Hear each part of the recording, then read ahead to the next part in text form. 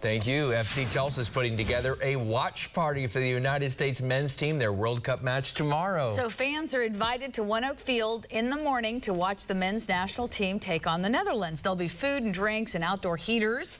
The gates will open at 8.30 in the morning. The game starts at 9. There's a live look at the field right now. Of course, it'll all be going on first thing in the morning.